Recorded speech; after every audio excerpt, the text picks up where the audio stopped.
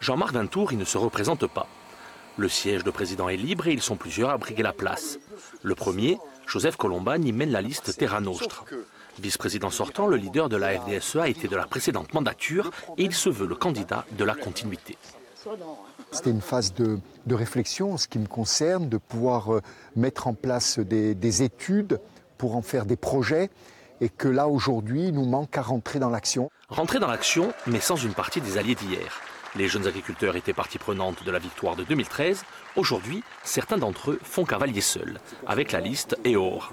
Ils se disent déçus par la tournure prise par la mandature et veulent faire entendre leur voix.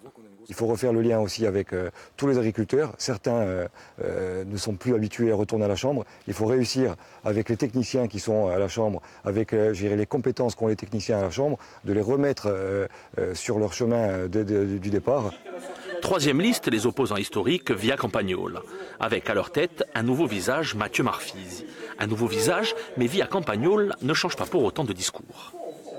Je me suis retrouvé en fait dans, ce message d'agriculteurs qui produisent, qui vivent de leur production et qui gardent leur savoir-faire paysan et qui respectent à la fois leur environnement, leur terre, qui, produisent un bon produit qui sera à la, in fine sain pour le consommateur. Trois listes donc en course jusqu'au 31 janvier. Et la campagne s'annonce musclée. La question des surdéclarations de surface y est déjà invitée, mais d'autres dossiers occupent tous les esprits. Le premier d'entre eux, la future politique agricole commune en 2020. Un enjeu crucial pour les futurs élus.